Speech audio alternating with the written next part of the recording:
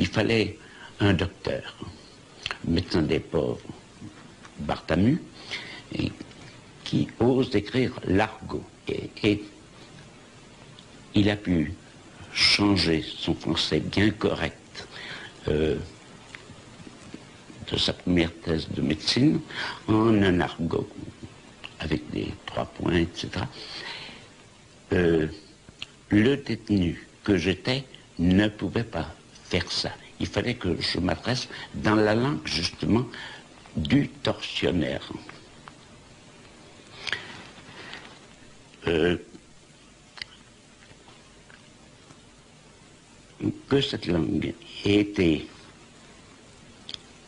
euh, plus ou moins émaillée de mots d'argot, euh, n'enlève rien, ou je suppose, n'enlève pas grand-chose, en effet, à sa syntaxe. Si été séduit, parce que je été, par la langue, c'est pas à l'école, c'est vers l'âge de 15 ans, et à traits, quand on m'a donné, probablement par hasard, euh, les sonnettes Ronsard. Et en effet, été ébloui. Et il fallait, il fallait être entendu de Ronsard. D'abord, puisqu'il est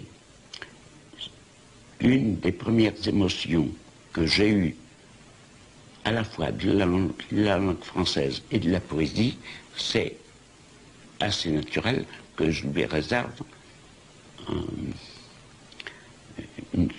de, fidélité, en tout cas. Il n'aurait pas supporté, Ronsard n'aurait pas supporté l'argot. Mais il y a autre chose aussi. Euh, c'est que la langue française est fixe. Elle, a été fixée au XVIIe, à peu, à peu près. Euh, l'argot est en évolution, l'argot est mobile. Euh, l'argot utilisé par euh, Céline est, se démode. Il est déjà, il est, presque... On, on, le comprend uniquement dans le voyage au bout de la nuit, parce que le voyage au bout de la nuit, finalement, euh, euh, conserve euh, une, rhétorique admise par la, bourgeoisie. Mais après, les livres qui viennent après, je les connais mal, mais enfin, j'ai l'impression qu'il plonge carrément dans l'argot et qu'il devient, il, il, sera dans quelque temps illisible.